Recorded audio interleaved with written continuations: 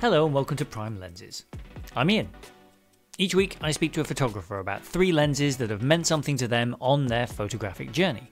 And my guest this week is Becca Farsace. Becca is an Emmy Award winning photographer, videographer, and lifelong learner.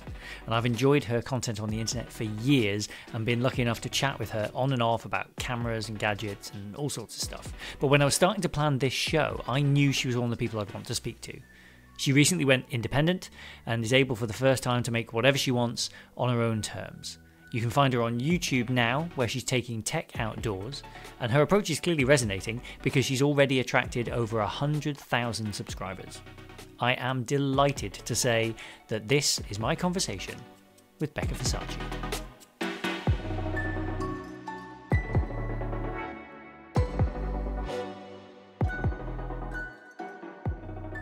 It, it's it's like when I'm when I'm using this mic and I um because I'm on Teams all day for work, and so the team can't hear my keyboard and stuff because the software is doing the clever stuff. But when I'm on this, I'm pretty sure it comes through like clack. I can clack. hear it. Yeah. So Yeah, um, but in but in a really beautiful way. I love that. oh, I it's love brilliant. It's it's um it's a proper '80s Apple um, ADB keyboard. Um, Oh shit! how did you how did you get it? There we go. There's the there's that bad boy there. Yes. Complete with the proper little Apple thing on the corner. Um, uh, so How does it, it how does it patch it? it connects to my computer now via two USB adapters. Um, A So- little dongle train. yeah, so it has a a, a USB um, like an ADB to USB adapter, um, Hell yeah! which was the first first thing, and now that goes into a USB C hub to go. And I, uh, yeah, it's it's really cool. And the the adapter it ages it because the the first stage adapter that just takes it to USB A is um, is it off of the early 2000s. So it's translucent plastic. And it's that kind of slightly textured and molded. It, it's like this has to look good next to a G3 tower. You know that that Yes. era of, of fine Macintosh computer. Um, so Oh, yeah, fine fine Macintosh computer is exactly the way I would describe that as well. yeah, they were good. My friend James, who occasionally gets a shout out on the show, um, I remember he. I was at university when I met him, and he got the G4 dual processor, 1.25 gigahertz, which was in the day was like Yeah, it must have felt fast. Yeah, yeah, yeah, Yeah. It was the Mirador, and I just remember I got I was in a lecture and I missed a call, and the voicemail was James going, "The Tower of Power has arrived," and I. I skipped my next lecture to go and hang out at James's, and we were just like zipping and unzipping files just to see how fast this thing Hell was. yeah! Oh my god. So good, so yes. cool. Oh man. That Opening gifts, zipping and un- unzipping files. Love it. Yeah. um, Yeah. Well, thank you so much for having me. I'm stoked to be here today. I'm stoked. oh, I, this yeah. is always such. The episodes are incredible. Thank you for putting them on YouTube. Um, That's all and, you. And yeah, especially the love it. Um, love to uh, start change. Um, and then yeah, the my favorite one though, really like the ones you did with um, James Bareham. I I just loved that episode. I mean, I love James. He's just such a thinker. Um, but yeah, it was just I I had pulled so many quotes into like my notes app after that. Like Mm. oh, good. you know, I just he said so many smart things, and I just I just really love that conversation. Maybe it's your accents, I don't know, but I mean, I do joke that some sometimes my accent is a qualification in certain parts of the world, but I think with yeah, James is just great company. That's the thing, and he just really knows he knows his onions in a way that there's there's no hiding it. You know, when you when you talk to some people, that you just it's just clear. Um, did you listen to the episode with Doug Menuez? Because he's I did not. He's great value. That- in is that the in latest one? No, no, no. That's um, a little while back because Doug photographed um, in in the Valley in the nineties and early two thousands. He photographed Steve Jobs' company NeXT after Apple. Then when before he went back to Apple, and the book. Uh, is called Fearless Genius, and it's phenomenal. Like it's got loads of photos. He's got these incredible black and white photos of like Steve Jobs and like a young Jeff Bezos and Bill Gates, and you know that, that whole period. There's an incredible picture. It's on the back cover of the book. Uh, it's David Hockney being shown the first version of Photoshop with a dachshund on his knee and his paper in his pocket, and he's just sitting there just playing with his dog while he's being shown Photoshop. And like you know, fast forward Awesome. decades later, and like he was like drawing exhibitions on iPads. You know, like just he's Yeah. he continues to be mad. So yeah, Doug's good value. Um, I mean they're all good. Ali's episode's good. Yeah. Um, but yeah, Yeah. some some guy named Varen, he turned up at some point. You know, Yeah, yeah, yeah. His was good too. Yeah, he's awesome. So we catch you because I think because we, I've been talking to you like on and off. I loved, by the way. Thank you so much for referencing the the in the Ricoh GR versus the 100V video. That How could I not? Yes, you were so persistent. well, I did. I did a little Snoopy dance when I watched that, and I made Alice watch that bit at least three times. Um, because like, no, no, no, no, I think that's us. Um, but yeah, it's because it was a. It's such a cool camera, and we've been talking about stuff like that for ages. And like the pandemic, in a odd way, seems like a long time ago now, even though it's not really does. very long ago, but it's very far in the rearview mirror.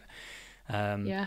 But yeah, and then you've moved around stuff. How how are you finding now? Like you're you're out in the brave new world. Patreon's launched. YouTube channel's doing tremendously well. You're over hundred thousand subscribers already. Like hell to the yeah. Big. That Yeah. means you get a big button for your wall. How's that feel? I got it's yeah, the button's not as big as it once was, but it still feels extra big in my heart. um, just just put the lens closer. Yes yeah yeah exactly um it all feels really good um and exciting i'm just really happy to be here that's that's what it boils down to and i tell everyone this the good days are 200% better and the bad days are 200% worse but i wouldn't change a thing um Yeah. and it just feels it just feels exciting the other thing is every day i learn something new and i was talking to my friend David Imel um, a couple days ago and we were saying that if you're feeling stuck or bored or just not excited, just go learn something new. Learning is power, it is exciting. Learning something new every day is just incredible um incredible feeling and it, it's it's Mm. exciting. Yeah, yeah. I think that's that's the key, isn't it? Is keeping it fresh and keeping it amateurish in the good way. You know, like uh, lifelong learning. I think that's the thing. I think as soon as you feel like you know it, and there's no surprise to be had, then the joy will go out of it. And Yeah, absolutely. Yeah, and the Yeah, surprise is gone. You know, when you learn Yeah. something new, you um it opens your eyes to something that you maybe you didn't think about every day before, and now you're thinking about them. Um, for Yeah. example, my very good friend Phil, who I worked at The Verge uh, with, we would travel Hmm. the world together, and he's a big car guy. And Uh-huh. everywhere we went, he'd be pointing out this car and that car, and he knew the history of every car and what this model number means. And Hmm. I would come home from these trips, and I would be walking down the street being like, oh my gosh, that's this car. It has this history. And so when you learn something, you just open your eyes to something that you didn't see before, and that's exciting. Yeah, I love I love kind of. I mean, I probably could have learned a language with the silly things that you pick up from stuff over there, but it, but each of them is tied to a person and a time in your life. And like I, I think too. I think that's what's so powerful as well about these conversations being audio only, because I remember where I was when I listened to certain things, and is it, Oh, yeah. I feel it they take it takes you back a bit more somehow, you know. So you're a it was in visual person, which I think I knew. Well, yeah, I mean, uh, it's not you don't accidentally invent a podcast about lenses, I guess. But yeah, I think I think it is that. I think yeah, it, it's it's connected to your senses. I think being in your ears is a really privileged place to be, and I'm really lucky that like I'm making something that's connecting people and get to talk to cool people. You know. Absolutely. And in that vein, I'm also such a visual person that if I think to do something or have any thought at all and then I forget it, Hmm. I often go back to where I was and look at what I was looking at and I can remember what it was. Like that's how visual based Yes. I am. Right. No knotted handkerchiefs for you. It's all walk back to the place. Yeah, we got to go we got to go back to the source, baby. now that you're you're traveling around, you were you were at an event yesterday. Talk me through, if you can, a little bit the outdoors kind of testing stuff outside, because we all know you as someone who, like, hey buds, we're testing buds, or we're testing cameras, or when we're out and about. But the I love how you've kind of you've made something for you that's yours. I think in the way that you talk about taking things outside. Yeah. Where did that come from? Have you been mulling that for a long time, or was that kind of a, a an epiphany? Well, I was always the kid in high school that would ask the teacher if we could have class outside. Like it was like a running joke with like friends of mine. We like I was like every day I'm going to ask the teacher if we can have class outside. Um, and the answer was always no. But when we wouldn't have class outside, I would always find myself just looking outside. I've always been drawn to the outdoors. I just want to be out there. But where that, um, so there's that. And then you mix that with all other tech reviewers, for the most part, containing their reviews in their studios or their homes or their mm. basements. And that's not where products are actually used. You know we're out and about we're like in the rain and we're in the mud and we're with friends and we're in bars and we're in bright places and dark places. And so the idea was i want to bring tech to where it actually lives in our world outside. Yeah. Um, and then the fact that i just naturally want to be outside. So if i if i name my brand this then i have to be outside unfortunately fortunately yeah well i mean that's it's really great though i think because that ties with also where you want to be right at the moment. Like you have made the move, you're in a more rural place. You know, most of the time you're still you're close enough to town, but you're not cutting yourself off from it. But walking back and forth, eating apples and filming stuff on an iPod Nano, like that seems like a pretty. Oh, that's the dream, isn't it? it's so good. Yeah, yeah, I loved that video. By the way, it was really nice. I'm um, Matthias Berling, who was on earlier in the in the series. Um, he's got an iPod Nano, he's been saying that he's going to send my way because I was talking about getting one before I went away, and then your video came out. So well, I have to, I have to get one of these. It's such a shame that the battery's so hard to replace, though. Oh my god, it's impo- it's impossible to replace. I wouldn't dare do it. Um, yeah, I I mean, it's they're ticking time bombs, almost literally, um, which is a shame. But I guess that was like, you know, the problem. It's still the problem with tech is how utterly hard it is to repair at times. Um, but but yeah, definitely get one. It, it'll take you right back if if you were an iPod user way back when. It's like that that scroll wheel. Oh my gosh, I could just go in circles. And then I also highly it's recommend so good. so good. I highly recommend buying one. I've found a lot of iPods. Um, you know, the culture here in in New York City is like when you don't want stuff, you leave it out on your stoop for other people to take. And I've acquired a few iPods that way, so you can always be on the lookout for them there. But they also are the perfect time capsule when you open someone else's iPod, it's like the music they listen to. Sometimes there's photos or videos or shows on them, and you can see uh, a look into a very particular time in history, which is cool. Yeah, it's really nice actually. I I think of um, working in games. I have I mean I have my iPod on my desk and I use it all the time, but it's um, also like games consoles and stuff like that. Like my Switch is a time capsule effectively Yep. because I know that my 3DS was the same, and the like. it's just it's got the things on it from the time, and it will work until it doesn't work anymore. But that's that's where it all is, and I sort of love that. But also it's weird because I, I was talking for last week's Last week I spoke to Kai, who will be this week's episode because you're the week after. So t- what is time? But this guy Kai O'Connell, who who's done a um, a lot of thinking about the lost art of the family album, right? And I feel like the iPod is kind of the last piece of technology that we had, that kind of era of technology, which wasn't locked and wasn't hidden. So you can pick up Bob on the street's iPod and immediately it tells you something about that person. Everything else now has Touch ID, Face ID, PIN symbols that you have to draw on the screen. And so immediately we're locking away our most important memories that we might want to share with people, but they're trapped now on these devices that we may or may not be able to get into in the future. Yeah. Like that iPod is kind of like there was a step change where suddenly it's like these things are personal. They've got important things on. Now we have to lock them down. You know. Yeah, I haven't thought about the family photo album in a really long time. This is I'm mm. suddenly getting many ideas for videos and projects. Um, that's such a cool. You're right. It's not locked. You can just open it and be in somebody's family. Yeah. Um, and I love photo albums. I actually love looking through like strangers' photo albums. It's weird as that might mm. sound, it's kind of like voyeuristic and a very like scratches an itch in a weird way.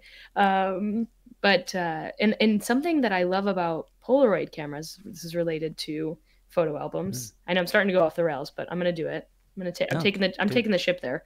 Um, something I love about Polaroid cameras is I have like Polaroid specific albums, and there's just like nowhere else to put Polaroids. So I had they hmm. naturally mm. make their own photo albums, and you know those eight shots are from one day in time and it's a beautiful thing to flip through um, yeah we all need yeah. to be making more photo albums Yes, definitely. Uh, um, so I'm obsessed currently. This will not work well for audio, but I'll show you because I've started going back to notebooks. I've done over a decade oh, yeah. of drawing and writing everything on an iPad, basically. Wow. Yeah. And there just came a point where I was like, even before there was an iPad Pro, I was drawing, I was taking notes on iPads with like bamboo styluses and all that sort of stuff, just Yep. trying to make it work. And then gradually over time, it got more and more easy to the, but to the point where like it just started to feel a bit soulless.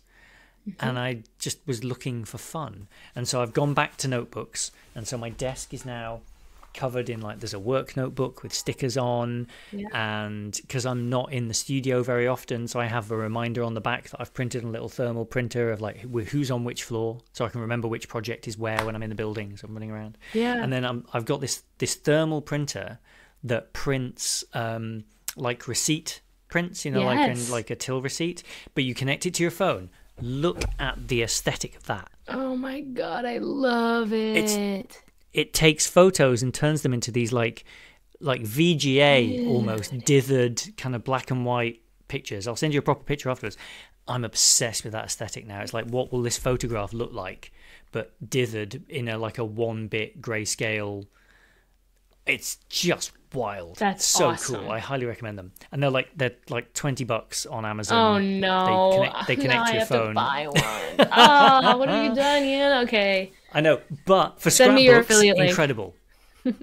sure, sure, yeah, like like we have one of those yet. Um, it's uh, but yeah, they're really cool. I highly recommend because I've got you know I've got Polaroids in here too. Um, I just whenever I travel, like when I come to the states, I've got the Polaroid things in there as well. Yeah. Like fun little guys hiding. But um, Awesome. yeah, the, the the receipt print is brilliant, and it's like you have a little crafting project on a train or whatever way. and People just look at it like, "What are you doing?" Yeah, that's awesome. very cool. Yeah, I'm a big I'm I am a big like uh physical material lover. Like Mm. my fridge is full of magnets and photos and I'm constantly moving them around and making different collage with them. And every year I do a mood board. I do many mood boards through the year, but I always do one on New Year's Eve, and that's collage and cutting mm-hmm. things out, and you're flipping through magazines, and I just love that tactile feel of creating in that way. It's really feels like a break from everything else. I think especially because our lives are mediated now by screens, and there's you know there's that joke of like, I spent the day looking at a screen so I could come through to a different room and look at a larger screen, and then just before I went to bed, while I was brushing my teeth, I looked at the small screen again, and then put it in my pocket and went to sleep. Yeah. It's uh, it's nice to kind of just give yourself a break, even if it's not doing anything you know bad particularly, but Yeah, that's well, that's what David and I were also talking about when we were talking about, you know, getting a hobby and learning something new, is that it feels like um, social media has really robbed people of hobbies because instead of like going home and working on your side project, you go home and you scroll. Um, you know, and instead of like learning something new and then applying it, you just like scroll and you kind of learn about it, but then you get scrolling and doing something else. Um, so yeah, Yeah. everybody start learning stuff and finding hobbies. My call to action. Yeah, exactly right. Like a, a you've got a banner, but that takes us back, I guess, to your early videos in a fun way because hmm. you were talking like in some of your early ones about like I'm doing this on Saturday and I've got to do this in between laundry and you know all this sort of stuff. Do you have friends say to you like, how do you find the time, and and how do you because I get that now I do this and I don't think they realize how straightforward editing audio actually is, but. Yeah, obviously to the Well, you found it. I don't find it very straightforward. So God bless you. The move to Audacity was the key. Mm. Um, I was using I was using Luma Fusion to start with.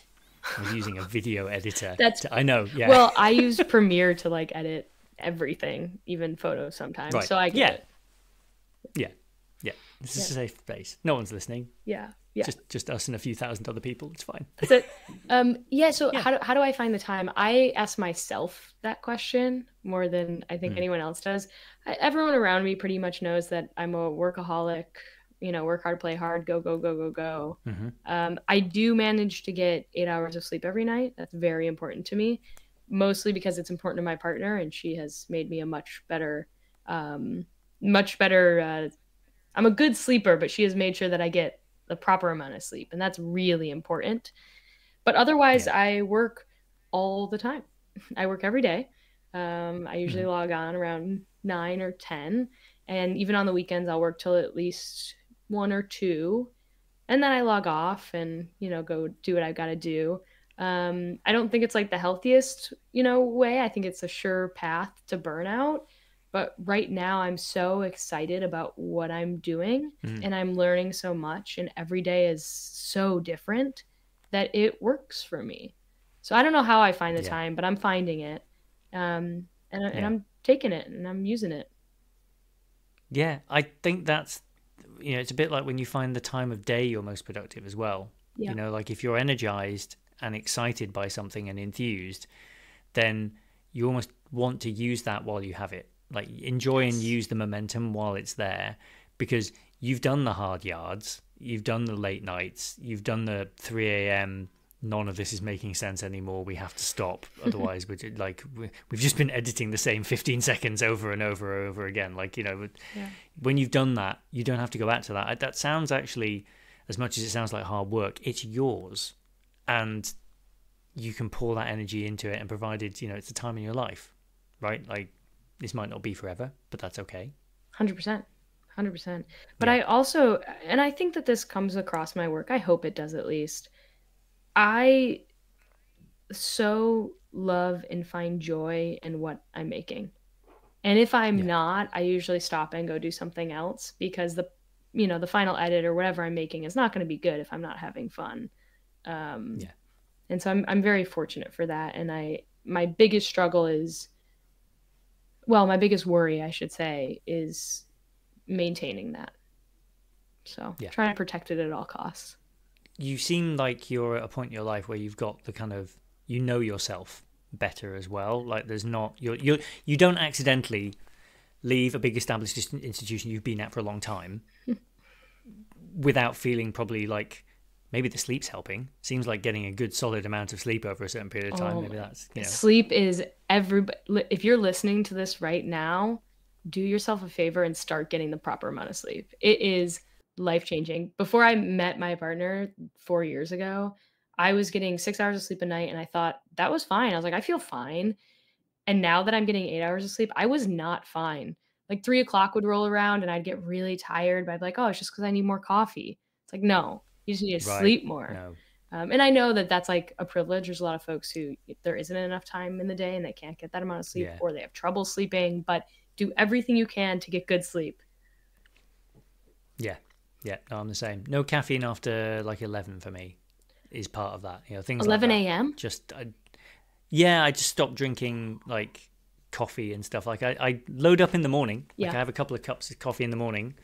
Uh, we have like an espresso machine, and I gonna top it. I'll make my own make it? americano. Okay, nice. Yeah, so it's it's a sage bambino or something. It's pretty good. I have a friend who works in coffee, and I was like, I we stayed in an Airbnb that had a nice coffee machine. I was like, okay, I'm sold. I'd always done pour over or cafetiere type coffee, and then Yep. having an espresso machine, I was like, this is pretty great actually. Yeah. So Alice, that that was like maybe five years ago, and Alice said, "Well, you know, why don't we get you one for your birthday?" And I was like, "That sounds brilliant." And so I asked him what was a good one, and he went, "Well, you know, you could." It was like cameras when you talk to those people who are like deep in it, Yeah. and he's like, "Depends. Do you want to spend a thousand dollars on it?" And I was like, "No, no." And he's like, "Then buy this. This is fine." Um, and you go from there. But uh, yeah, I, I I like it. It's nice. It's sort of there's a ritual to it as well, which is nice. Yes. I love a coffee ritual. I love a ritual at, Hmm. at large, but start waking up and having like something, you know, set that you do that actually gives you something that Yeah. energizes you. Oh, there's nothing better. It's nothing better. and it's yours it's your time as well whether it's like five minutes or ten minutes or whatever it is that i think that creating space for yourself i think is probably quite important i think we all probably learned that over a couple of years of pandemic as well Oh, Like, right, absolutely. i can't leave these these four walls need to create some space but Yeah. i guess from creating space to kind of creating images and ritual and things like that we could talk about one of your lenses because let's it go. feels like if when i when i make people choose three uh, there's probably a little bit of ritual and stuff. So which which of your three? Because I've got I've got tons of questions about one of them in particular. But which one would you like to start with? I was trying to remember this morning which ones I gave you, and I thought about going and looking, but then I thought maybe it'd be more fun if you just bring them up and we'll go from there. Okay, Yeah, you pick. cool. So okay, well let's go. Uh, we'll go Canon EF 100. Oh, yeah. Yeah, because that one, I don't think of 100 mil as a focal length. Yeah. because I'm a tourist and I play with photography, and so I'm I'm all your traditional focal lengths. I'm 28, I'm 35, uh, I'm 50, I'm maybe 90. So the hundred, Yeah. where does that fit in for you? Like, how did you come across it and go, it's that one? I did not. if you talk to anyone who worked at The Verge pre-pandemic uh, on the Mhm. video team, they will have used this lens. It is like The Verge's favorite lens, at least it was. We used to shoot on Canon uh, C100s, and Mhm. my gut told me never to pick up that lens either at first. I mean, number one, the shape of it is funny. It's it's long. It's like a barrel. Um, it just looks like a a piece of PVC pipe, really. It's it's not pretty. Um, and the ones that we had were often a little bit dinged up and broken because we use them so Mhm. much. And also, 100 millimeters is such a strange focal length. I'm sure it's Mm. one that if you're using a 70 to 200 millimeter lens, you might land on more than you think. But naturally, I don't think there's anybody who would set it to 100 millimeters. Maybe some Right. birders or wildlife folks. But for products, it is the most perfect focal length. Um, there's like just enough compression. Um, there's that lens is, is relatively sharp. Um, I think it has built-in stabilization. Um, it's just so solid for products. And Yeah. at The Verge, that I mean, there's whole videos shot on that lens. I would also use it as a wide and a tight. Like I would get halfway across the studio to use it as a wide and get like a whole computer monitor. But then you can get really close and because it's a macro and get some like really nice details on the edges and such. I miss that lens. I don't Yeah. really shoot um, Canon in that way anymore. Um, Mm. But yeah, I really miss that lens. I do wonder because you know, like um, lenses have these kind of moments where suddenly it's the lens and everyone has to get it, and often it's when they either they stop making them or they get a bit older or whatever. I wonder whether ten years from now there's going to be some sort of renaissance of like you know, like the Digicam craze where someone's going, like, "What you need is a 5D, but a Mark One, not a Mark Two or Three, and then one, you know, something like that where they just go." They go full crazy, like, no, it's the old one's the one you want, you know? Yeah, yeah. I wonder. I haven't ever talked to anybody outside of The Verge that loves that lens like we do. So if you're out there, if you love the Canon EF 100 millimeter macro, please tag me somewhere and just know that you exist too, because I don't know anyone else. It's one of those ones where you talk to the reps and they're like, and you're like, oh, I love this lens. And they go, do you? Yeah, You know, like exactly. even even the even the people who are, whose job it is to sell it are like, yeah, I don't know about this Yeah. one. Yeah, well, it's real. It's it, it's not super flattering for people. I I have tried to shoot like people with it, and it, there's just something not right about it. Um, so I could see why most folks wouldn't use it. But if you shoot cell phones, earbuds, laptops, um, yeah, anything with a chip in it, this is your lens. Right. That's a good distinction, actually. I hadn't thought of it in those terms of like what it would do to a person. It's weird. I do have a Verge video that I shot the stand up with it on, and I remember I shot the stand up, came back to the office, I was editing it, and my boss came over and was like, "Don't do that again." it just looked like, we'll get away with it this time. yeah, the person looked like they were a million yards away from me, and it was like, why are they talking to the camera? And yeah, but that video exists; it's out there. Now the challenge is now for people to go and see if they can work out which one it was. I would have Right? Don't, even don't even I don't. Then I do know I know who it was and I know where it was shot, but I don't remember what we were talking about. So even I would have trouble. is the plan to carry on then is is you know you you were talking in recent videos about having like notebook full of ideas and like you, the, the way you scribble stuff down i've listened to like lots of interviews and conversations you were great on waveform i thought that was really really Thank cool you. That was so Um, fun. some guy some guy named david was there as well he's all right Yeah, he's um, all right. he's fine like he's, he's out there trying to find the widest possible film camera he can like just how wide He's so dedicated to the cause though that it is it's so Yes. beautiful to watch and to be a part of. It's I love it for him. I that's that's my thing is Yeah. like if someone is really passionate passionate about something, I can watch them talk about Mm. it for hours, even if I know nothing about it. Yeah. And David's yes uh, you know, Pano, uh, seeking out the widest camera and film stuff is just endlessly interesting because he's so involved in it. Yeah, no, he's brilliant. What I loved about talking to him, which I didn't realize as well, was how he's not just cameras and film stuff. He's he's just full breadth of you know like Renaissance man in that way of like, oh, but you won't lose him in the detail on technical stuff. Like he he can go deep on compression algorithms in a way that I wasn't expecting. Right? And I was just like, oh wow, you are the full package. Yeah, you know? yeah, the ultimate nerd. It's awesome. Yeah, It's awesome. yeah, it's very cool. Yeah. He and I were talking recently. One of his film photos that he took, um, I was talking to him about trying to get a print of it done, Oh, and, like framed and sent over, and we just couldn't find a way to ship it to Scotland for less than a bazillion dollars. Yes. Sounds like he'll so have to deliver it. Basically, yeah. In the in the end, well, okay. So here's what we're going to do. This is the road trip. Can Okay. we? Can you know? Make it a, a remote. I need to start a podcast festival in the Highlands. Then ah. Waveform can come and record. So can you. We can do the whole. Th- I can see a path through this. I love it. I love it. Or let's Yeah. just all go on vacation. Forget Well, about okay, working. Or we could do that. Yeah. yeah, that too. That too. We can. I mean, there's plenty to do around here. We can kick about in the heather, um, and there's about seventy million distilleries and of various kinds within. oh my like, god. All right, don't tempt me with a good time. We should probably it's probably a good time to mention lens number two. So I am going to pick Okay. the one that I was curious about Oh. for the next one for us to talk to because I was I was excited to see this. So my stepdad Chris, granddad Chris, who gets mentioned quite a lot on the podcast, Yep. is an A7C shooter because in part I sent him your video of the little ripper that still rips.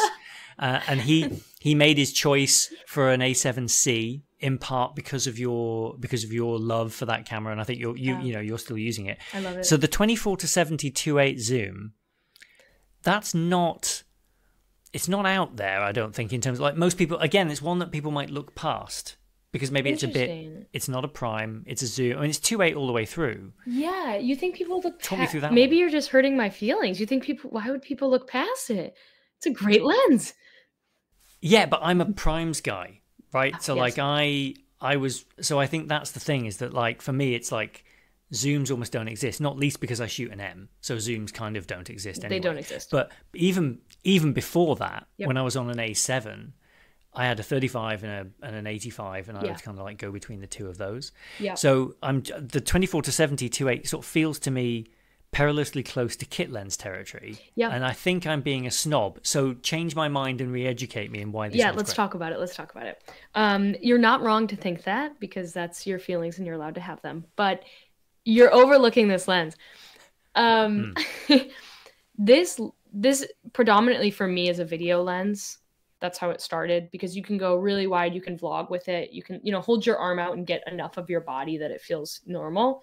But 70 is also um, enough reach that you could be across the street from something, zoom in, and the viewer can see what you're seeing. So it's a really nice range. And Sony has also made this lens smaller with each edition and just so sharp and accurate throughout the range. It's incredible what they've done with this lens. I believe that Canon has a Yeah. pretty good offering in this range as well, but yeah, 24 to 70, if I had to pick one lens to make all of my videos with, it'd be that one. Yeah. And it's a it's a tie between that and the 16 to 35 because the 16 to 35 is just a bit wider for vlogging, but you can't Mhm. zoom in enough to like show your viewer what you're looking at in the world, I think. You digitally do it, but 24 to 70 Yeah. is such a staple. And I agree. I when I first started The Verge, I was big on primes too. You know, uh, shooting stand-ups on the 35 or the 50, using the 100 for all of my B-roll, and that was like it. Like I would go to events with like Mm. those two lenses, maybe the 24. Um, but then once we switched over to Sony systems and we started using the 24 to 70, it was kind of all I had for a while on Sony, but I learned to love it. It's it's really solid. And they're getting smaller and smaller, which is the best part. Yes. No, if you if you can fit to, I mean, it's one of the things I love about the M system is just how small all those lenses Ah, are. they're and very can- small. It's so cool. Like so you can just have like a. Tw- yes, yes, all that contrast. I mean, they make you pay for it, but it's it's worth well, it. yeah. Like, But you wouldn't you couldn't even it's- dip your toe into that system without paying for it. So I feel like by buying the No. camera, you're signing up for everything else. You're making the bed and you got to sleep in it. A thousand percent. It's entirely my fault. Like boohoo, Ian. You had to spend that money on that Elmarit 28. Boohoo. Life, life so hard. Yeah. Um, I explained to Kai last week. I was like, you know, it's not that I live in some sort of like on a yacht and go around. It's it's that I got a bonus once, and it was kind of like, right, this is the time. Yeah. like we're either doing this right now, or this will never happen again. I was thinking about what my like dream big camera to buy would be actually last night. It was very late. I had Yeah. traveled all day. I did not sleep well while I was out in California just because it was so dry. The desert's so dry. And so I was a little like loopy and I got into this like really great thought of okay, if you ever make really good money and you have an opportunity to buy one really banging camera, what would it be? And I think I figured it out. I really Can I guess? Or... Yeah. Oh my god, yay. I love a game. So, because thinking about what you've done over the years, because my next question I was going to ask you about was was about stills versus video. So Mhm. this is a nice kind of segue onto that. Right on. I feel like you do so much video work and so much like small kind of like got to move fast, got to get this in focus and whatever that I think you would potentially go completely the opposite direction in some ways. So I wonder whether you'd go Hasselblad Uh-huh. because it's kind of like and maybe like a 907 or something like that because it's just the, the you know the classic Mm-hmm. kind of feel because it's it's totally the opposite to what you often have to do which is like move quickly get the shot move on to the next thing Yeah. so I wonder whether that slowness might be what you would seek. So that would be my guess. Dang, you're or am I good. You're right. But it but it's the X2D. Ah, okay. Yes. Yeah, because it's it's so ergonomic. I love the colors. I love the um aspect ratio. Um I hate the focusing system with a passion, which is why when I was having this conversation with myself last night, I thought by the time this happens to me, maybe there'll be an X3D um Mhm. and the focusing will be better but also those lenses. Oh my god, I just love the build of that camera. Yeah. The big con here is they are huge. They are huge and they are Yes. heavy. Um and I and I don't they're um they don't have great ISO performance in my experience. Right. Um Okay. but I think that would be every time I've gotten one of those cameras in for review, I have felt a sort of peace, like you were saying, Mhm. that I just don't get with other cameras. I love them, but their autofocus sucks. I said it. No, it's um, it's funny. Do you know James Popsys, who does uh, YouTube videos about cameras? He's a British photographer who lives in Wales, and he's done a couple of videos about the Leica Q3 and the Q343. Yeah. where he's like, it's he's like, a, basically he's like, I don't want to say it's a toy, but if you were sat at a table with Fuji, Nikon, Sony, Canon people, like, and they're all talking about their banging autofocus, you would stay quiet. just, just be like, yeah, you know, like, yeah, this also has it, but That's It's not so kind of- good. yeah, he's like, it, it's it's not for that, and I think they know that, right? you know. Um, but yeah, it's I don't know. I mean, I I don't have autofocus, so Yeah. let me. Have you heard? Have you heard the good news about zone focusing?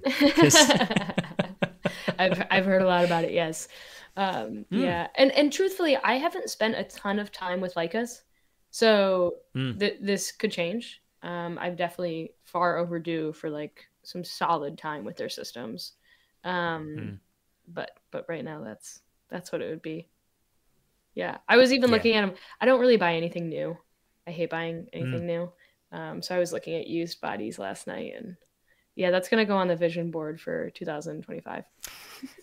yeah, I mean, all of mine have been used. I've never bought a new one. Yeah. like, that way. That way, madness lies. It's just too. Oh my god, you know, it, it's yeah, too much. it's like buying a new car. You like lose I don't know ten thousand dollars when you drive off the lot. It's it's just Yeah. like I don't I don't need to like rip the cellophane off of something to love it.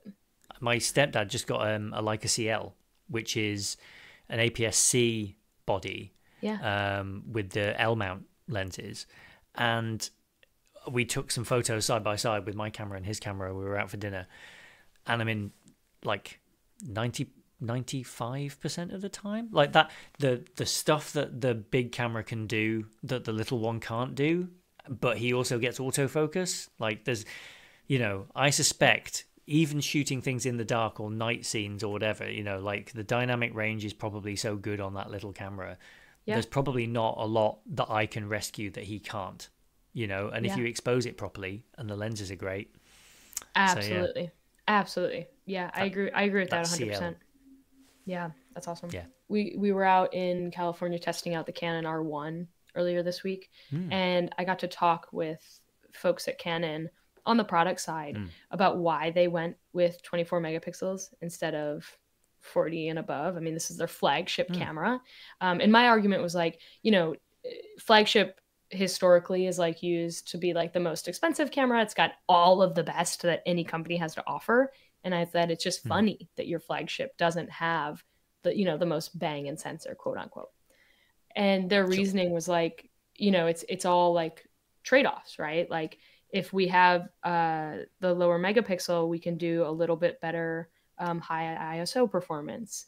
Um, we can have faster readout speeds. Like we can have things that pros want. And another point they made that was really good is a lot of people that use that camera are instantly sending their photos um, to uh, editors or databases. You know, they're sports photographers, they're news Yeah. photographers. Um, they don't want huge file sizes. You know, they don't want Yeah. all of these megapixels. That is just you know more time um, and not necessary. And it's a re- it's a very good point. It's a very good point. Um, so, I'm but but I'm wondering if that you know more megapixels is better thing like you know more is better. I, I'm like, will that ever die though? Like, you know, it's, I think that's just always going to be how people feel and see things, and even myself. So Yeah. we'll see. No, exactly. I mean, I, I, you know, my M can shoot 60, but I shoot it at Mhm. 36 most of the time. Okay. And I think, and I have no, I have no evidence for this, but I think 36 kind of looks better.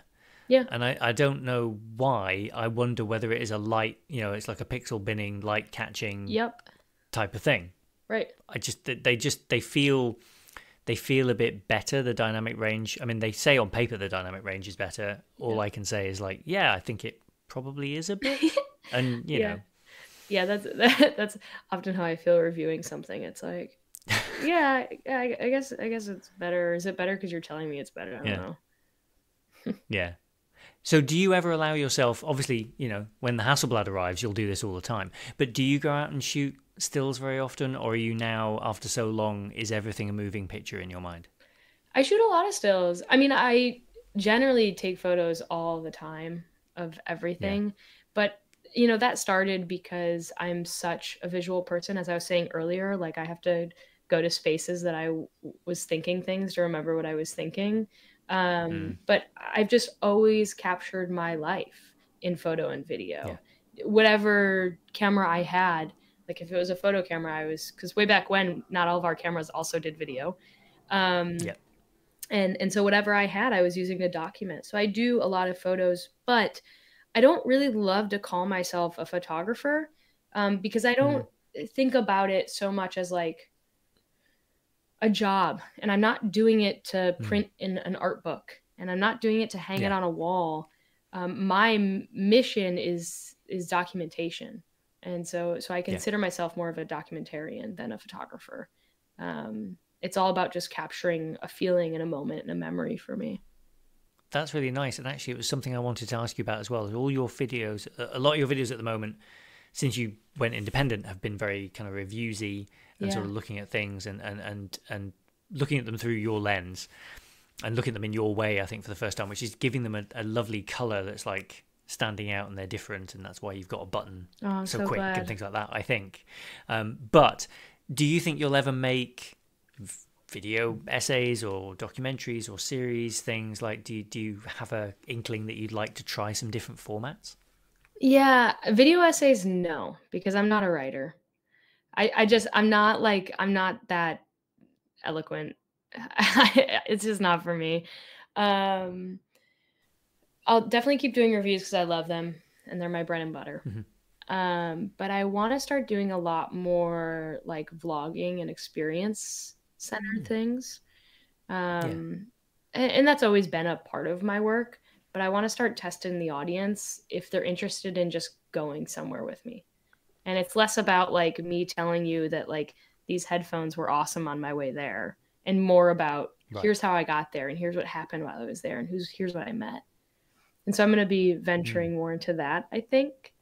But truthfully, I wake up every morning and I make what I want to make. And if someday that's something other than a review, I welcome that day. That's cool. Let's go down that path. So, no, that does sound nice. I think if it's organic and you just get there one day and then we find ourselves here now, then I think that's really nice. Um, we'll see if it and... works. All, all just an idea. You know, it's a, it's a, it's a concept. Craig Mod is a, you Craig may Mod? know. Yeah, M A M O D Mod.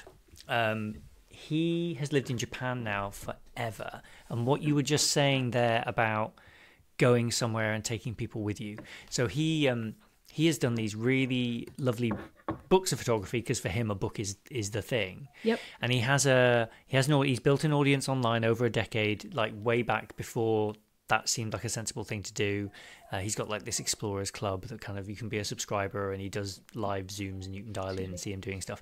But he mostly does these walking um, trips. It's not even really it's like a holiday. He's just he walks from like one end of Japan to the other and takes weeks to do it.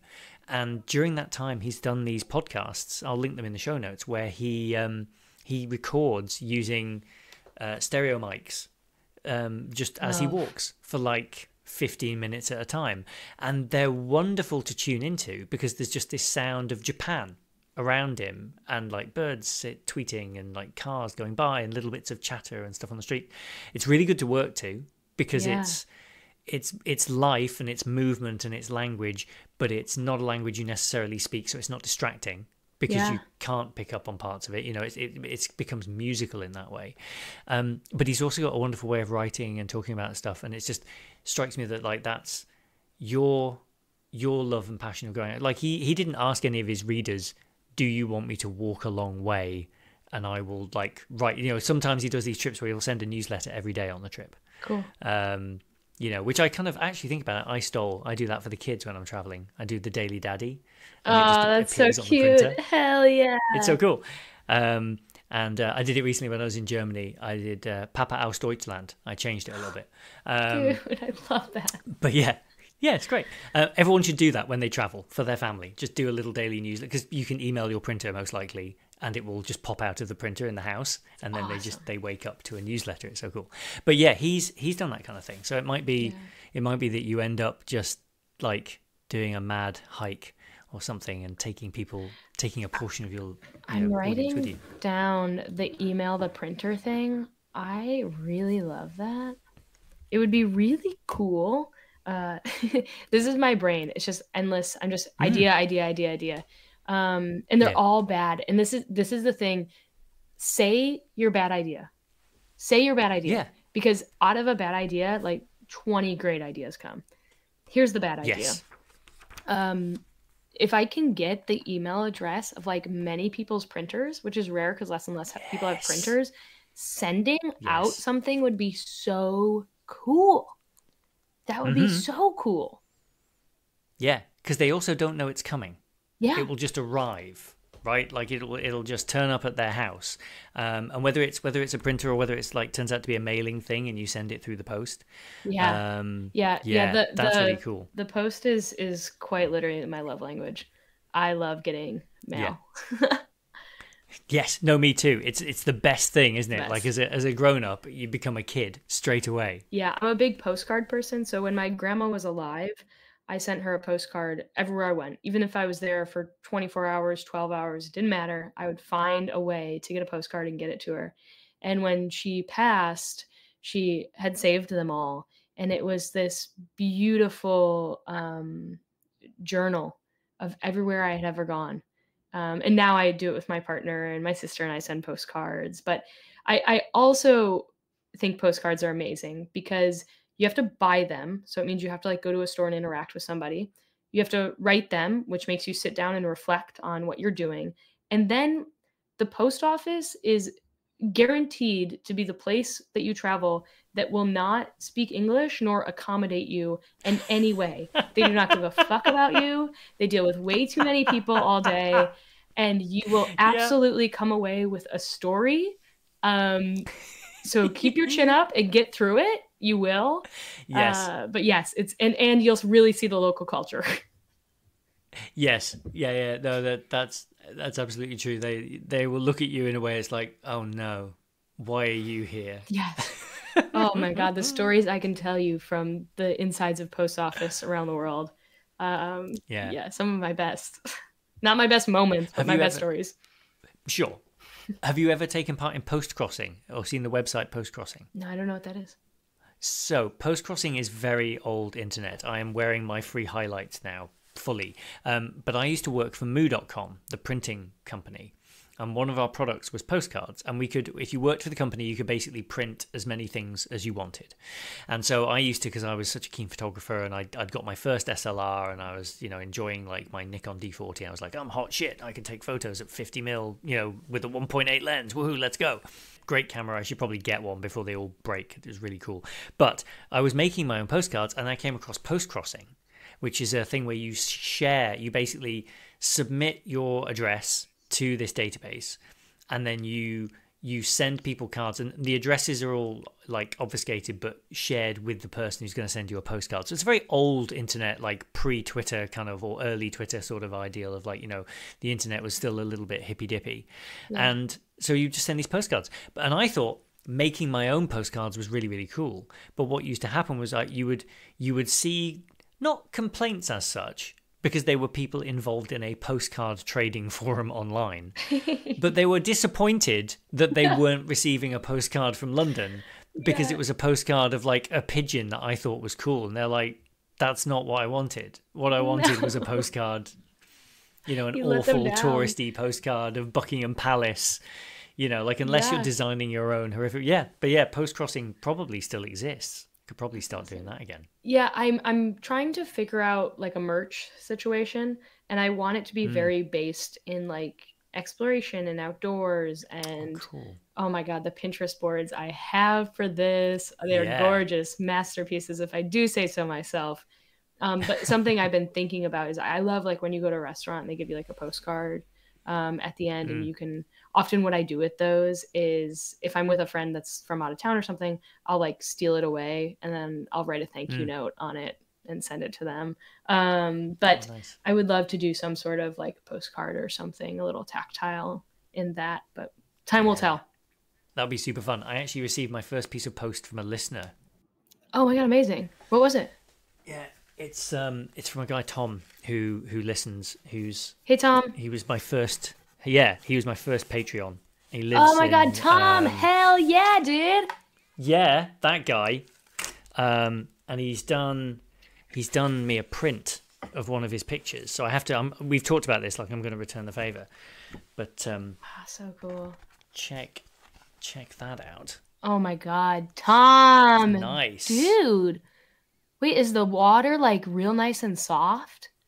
Yeah, yeah, yeah. it's Oh my really God. beautiful, like a long exposure Yes. uh, type thing. Yeah, it's really lovely. oh, that's It's a so beautiful cool. print as well. Yeah. So Tom, you he's done killed that, it. And I I've got love some it. little, yeah, yeah, yeah, and I've got some little glowy hologram stickers, and uh, yeah. Oh, he's even done because he's got a little so forth. Look, he's even done the Instax. Yeah. I've got an Instax version Oh, as well. So, yeah, cool. stickers and things of Tom. I will put him in the show notes now. You see, because he's been mentioned, so he gets to go in the show notes.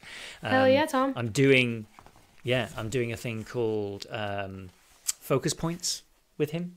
Uh, so anyone who signs up gets to gets to be in a little YouTube short where I ask them some questions that are designed to kind of like solve some of photography's biggest questions Cool. uh, and answer those biggest questions. In fact, I could try them out on you uh, Okay. when we've done your last lens. We'll try them out and we'll see how they go, and then you, I can be, you, we, we test drove them with you. I feel like you're the right, the right person to test it with. I am I am endlessly down for a test drive. Please make me the guinea pig.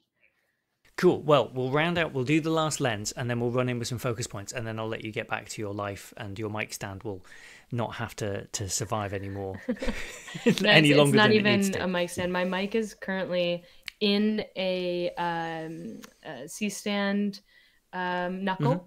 on my desk, oh yeah, uh, leaning against my computer. So it's real. that's it's very on brand. it is on brand.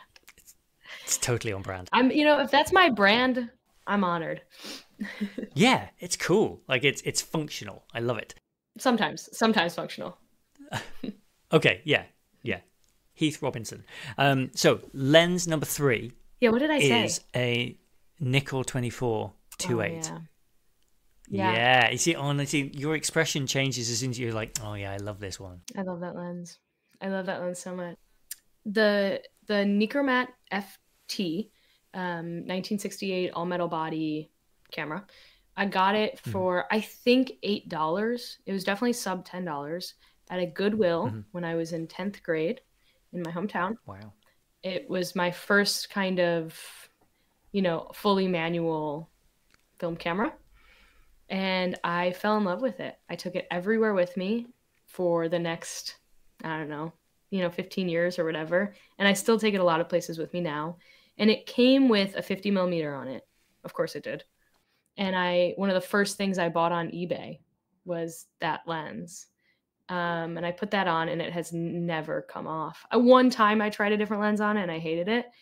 It's just, I have used that camera so much. It has traveled with me so much with that lens on it that I see how that lens sees. Like, if I have Right. that camera on my neck, I know exactly what the frame's going to look like before I put it up to my eye. Um, Yeah. it's got sand in it. It's gotten soaked. It is. I'm. it is probably getting real foggy at this point. I need to like pay good money to have Right. it cleaned. Um, but it is just. It's just home. It's home for me. You know. Yeah. In this really beautiful way, and even talking about it, I just get all like warm inside because that camera and that lens are. They're everything. They're everything. So. And if I ever get stuck, like I'm like, what camera should I bring on this trip? I just bring that camera, and I know I'll be good. Oh, that's brilliant. And that, that's exactly the kind of conversations, like seeing you go a little misty eyed Yeah. talking about that lens and just thinking about the images you've made with it. I'm the Mm. same with 35 millimeter because the camera I used most growing up was a 35 field of view. So I think that's just, Yeah. to me, that's what a photograph looks like. Yeah. Um, well, that's wonderful. Yeah. Yeah. I love it so much. Um, yeah, and it now has this like real like squeak to it when you're focusing. It's like, Yeah. uh, Yeah. but that's that's okay. We'll we'll we'll get her all patched up real soon and uh, be back at Yeah. it. Yeah. The the meter also recently went on that camera, and you know I used to be able to stick a piece of tinfoil in the battery compartment, and then it would just like work. Um, so I don't know. Maybe my piece of tinfoil in there is just a little funky right now, and I gotta swap her out. But uh, but yeah, Yeah. that's my babe. That's my babe with Ektar Aw. 100. Oh my god, Yep. that's, that's that is it, babe. Ooh. Yeah. I can't go down that film rabbit hole, Becca. I can't do it. I've got to, like, it's too dangerous a place to go. Instant film's bad enough.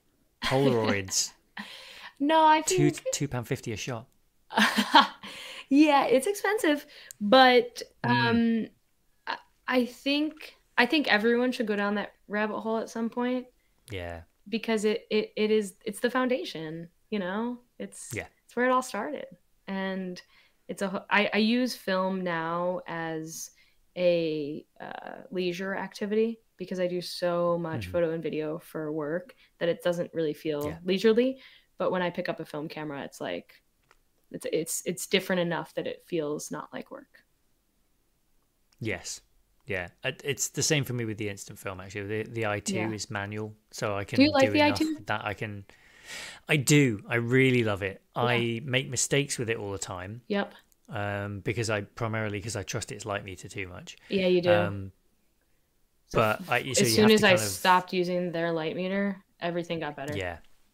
Yes, it, it does. I just need to remember. Like the other day, basically the sun coming through the trees was incredible, and I went outside. I dashed outside to do it, and got a couple of shots. And I was like, yeah, you know, like F sixteen, they're bangers. And Yeah. uh, 15 on- minutes later? drying on my desk. Yeah. Well, yeah. Forty minutes later, it was just like, no, it was all over, and Oh man. like- oh it's yeah. basic. It's basically that one's not too bad because I, I kid myself that I've exposed for the sky. So Yeah. you know that that one the kind of the sky looks all right but like at the weekend when i was doing it myself like the the camera is blurring it unhelpfully but you know like that looks properly exposed but yeah it's just it's cool it's such a great lens it's so sharp Yep. and the rendering is really really lovely Yep. um i just need to kind of calibrate my my understanding of the light meter better Yeah. basically for, for more conditions It's funny you brought this up. I just pulled mine back out last weekend. We had some friends in town. Hmm. We were gonna go walk through town and have breakfast, and I was like, you know what, this is this is gonna be perfect. I put um, what is it, SX 60. What's the older film? 70. 70. Oh, it's close. Yeah, 60, yeah. um i put that put that in and um i my problem is i always use my own light meter and exposure is Mhm. fine but the green cast i get with polaroid Yes. film what am i doing wrong So I think it's just there a lot of the time. yeah But one I one there's thing I've gotta be a found, I yeah so we'll need to organize an episode where you come back on and we'll get Ben Frattanali on because oh my god i would love I've yes, had a, he's so cool. Um, and because I get it a lot, but I think the most the most true to life color I've ever had with a Polaroid camera is when I take the photo. Obviously, you put it in a dark place immediately, but if you're wearing like a little um, like a Patagonia type vest or a, zip, a jacket, something with a zippy pocket that's close to your body, yeah I think they're so temperature sensitive. yes I think that's partly where it comes from as well. I've been doing that. I, I've been putting it in the chest Mm. pocket. Yeah, Yeah. Um, okay. I you're right because when it's cold, it actually is worse. Um, Yeah.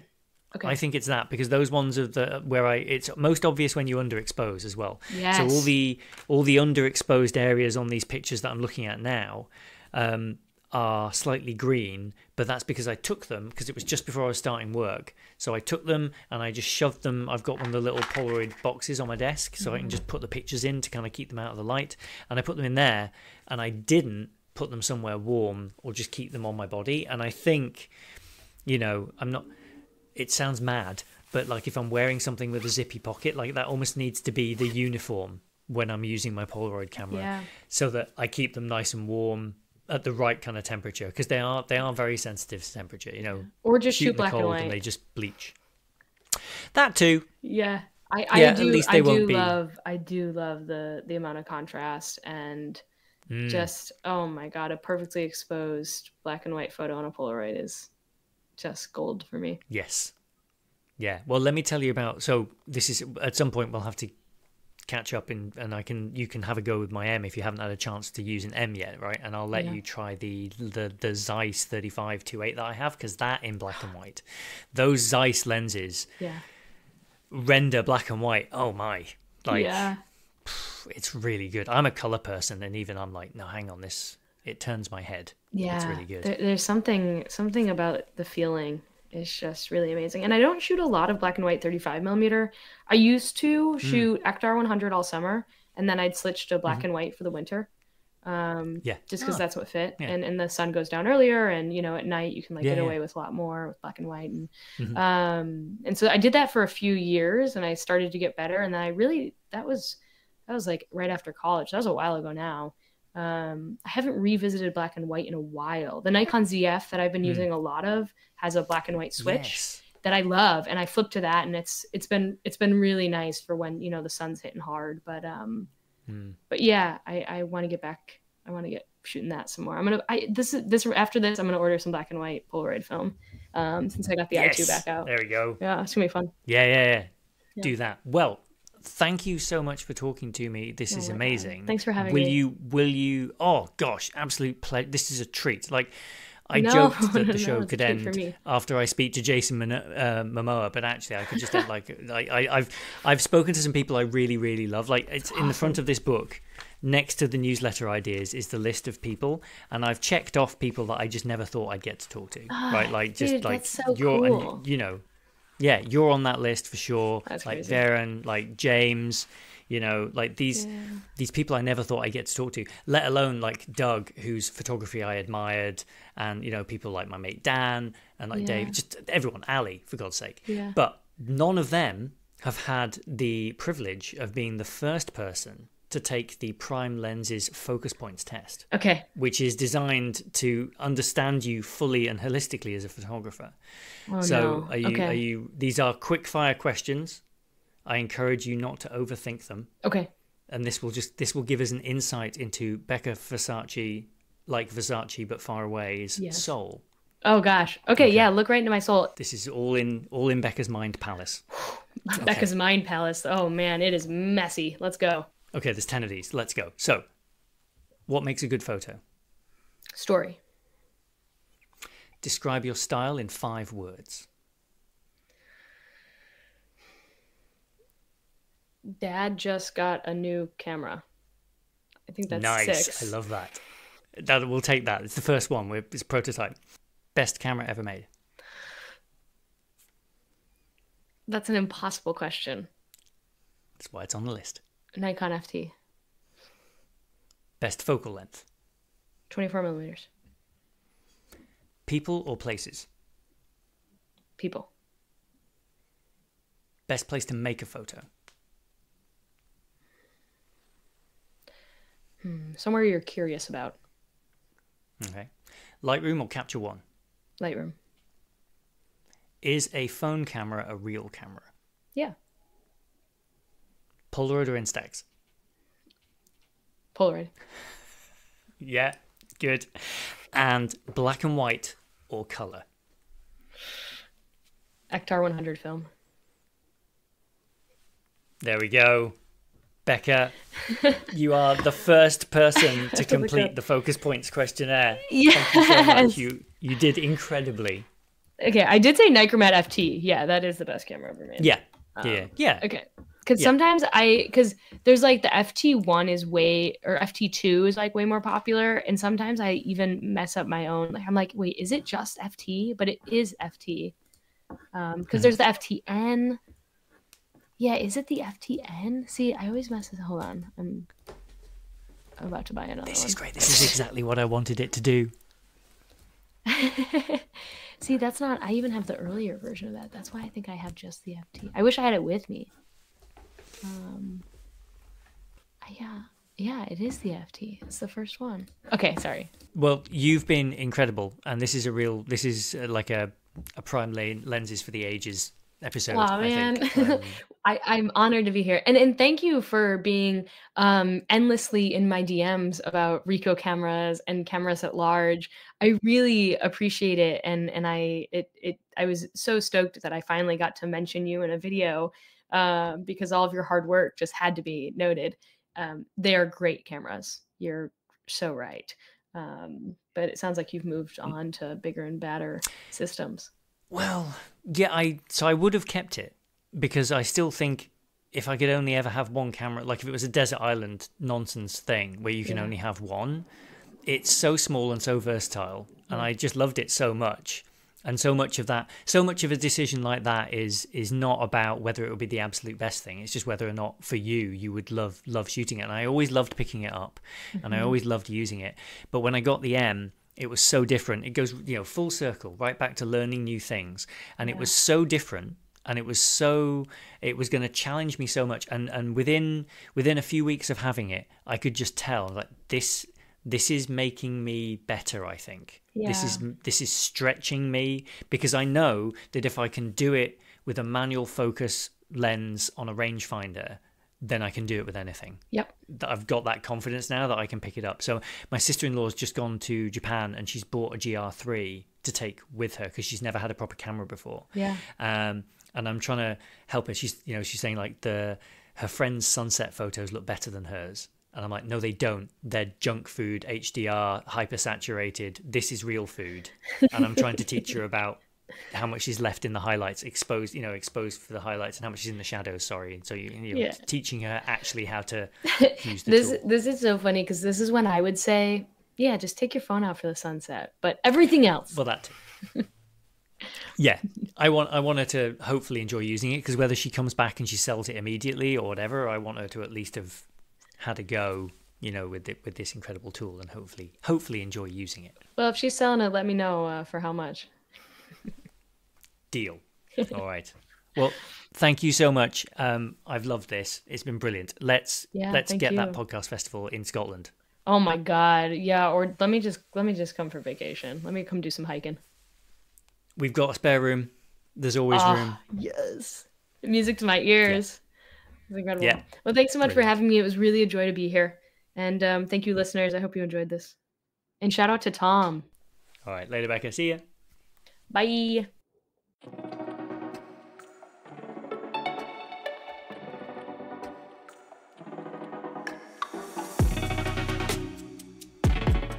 Thanks again to Becca for being on the show today. I loved that conversation, it was brilliant. If you liked it, don't forget that you can subscribe to this podcast wherever you listen. Be that Apple Podcasts, Spotify, Amazon Music, YouTube Music, everywhere. We're we're pretty much impossible to avoid at this point. And you can also subscribe to the midweek newsletter that goes out on a Wednesday, and you can find out more about that and our Patreon at ianfarrell.com slash sign dash up. There's a link to that in the show notes. So get outside, grab a camera, go out, follow Becca's advice, get outside with some tech, and make some great photos. Send them to me, and uh, I'll see you next week.